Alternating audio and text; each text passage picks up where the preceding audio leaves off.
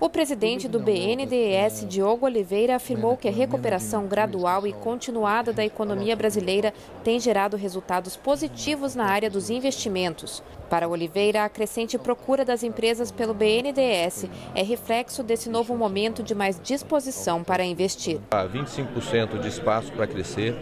As nossas projeções mostram que o Brasil pode crescer em torno de 2,5%, 3% pelos próximos cinco anos sem gerar pressões inflacionárias.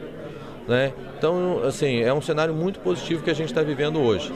Com algumas decisões corretas do ponto de vista de continuidade das reformas e consolidação das contas públicas, o Brasil vai ter um longo ciclo de crescimento e o BNDES vai participar disso apoiando o investimento da, das empresas. Já o ministro da Fazenda, Eduardo Guardia, destacou a importância de seguir com as reformas para ampliar o crescimento econômico.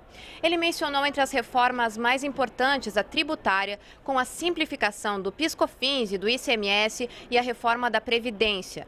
Lembrou também de prioridades na agenda do governo, como os novos leilões do pré-sal, os projetos de concessões na área de infraestrutura e a capitalização da Eletrobras. Para a Guardia, as projeções mais positivas para o crescimento do Brasil apresentadas nesta semana pelo FMI, chegando a 2,3% neste ano e 2,5% em 2019, mostram que a agenda de reformas tem se refletido na recuperação econômica do país.